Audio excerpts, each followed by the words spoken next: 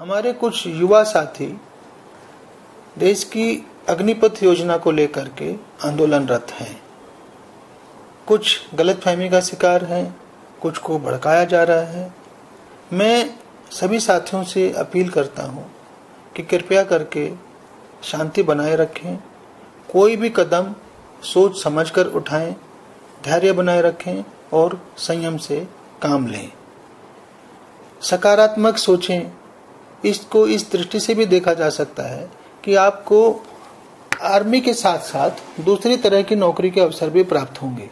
जैसे माननीय मुख्यमंत्री जी उत्तराखंड ने भी घोषणा की है कि अग्निवीरों को बाद में पुलिस में, आपदा में या चार धाम यात्रा आदि में अवसर दिए जाएँगे। तो इसके संबंध में भी हम इसको पॉजिटिवली भी इसको सोच सकते हैं।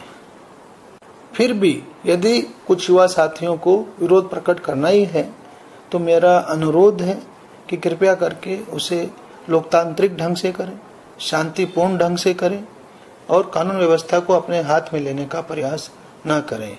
ये आपका देश है, ये देश की संपत्ति है, इसको किसी भी तरह से नुकसान न पहुंचाएँ। आप देश का भविष्य हैं। धन्यवाद।